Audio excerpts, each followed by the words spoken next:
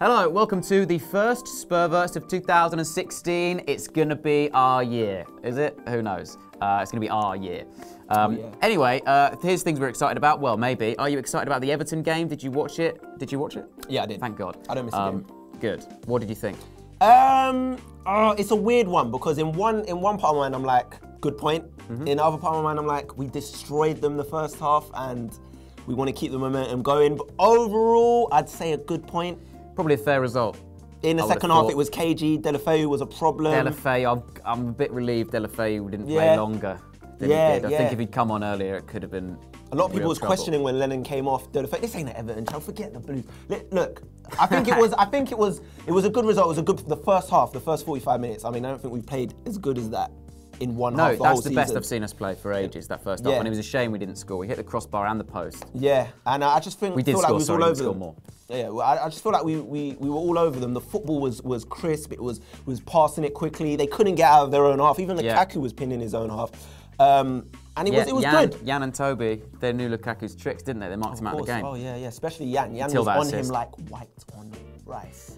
Well, that was the problem with the goal, to be fair, is that they, they doubled up on Lukaku and it left Lennon wide open. Well, I don't think anyone anyone would have. No one expected Lennon Hugo to Lloris knows from training that Lennon has never even put one away in training like Yeah. that. So eh, I mean, no one saw that coming. He was obviously up for it. You know, former team. I Yeah. respect that. But Any we hard really feelings? Any hard feelings about no, that? no, no hard feelings whatsoever. I mean, he.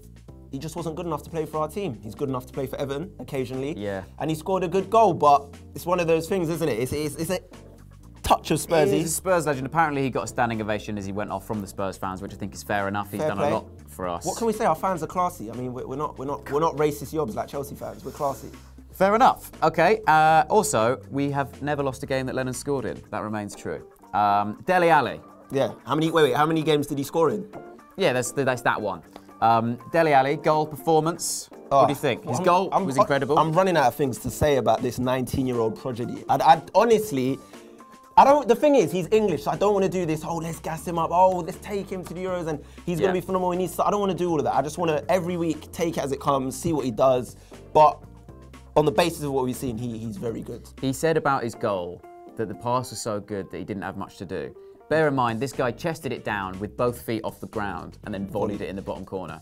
I mean- he's a, he's a modest kid. I mean, mate, that is that is beyond modest. I mean, what he can? Why can't you just say, yeah, you know, it was a, it was a good finish. I took it. You know, how most of you footballers Tom like Carroll. to speak. Tom Carroll's voice.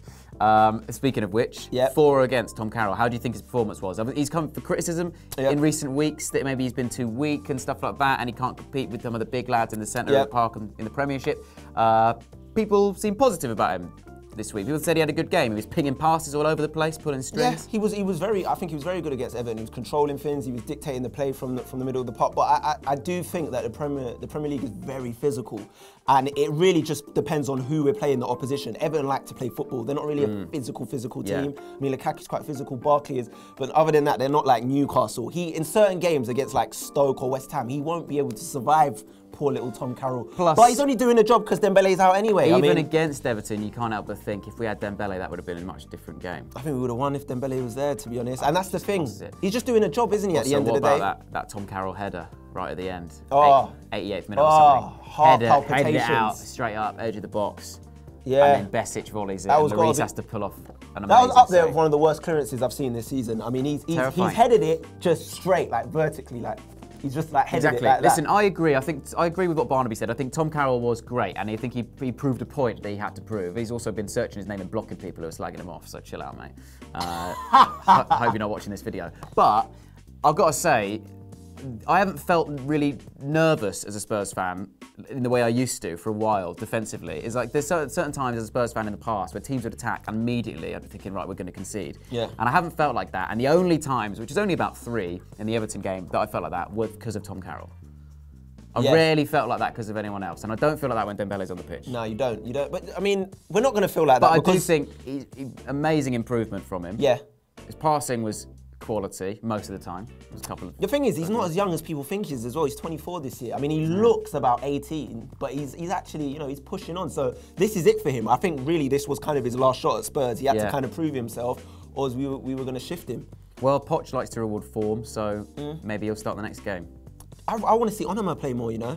Yeah. I really, I really do. I think he's more physical.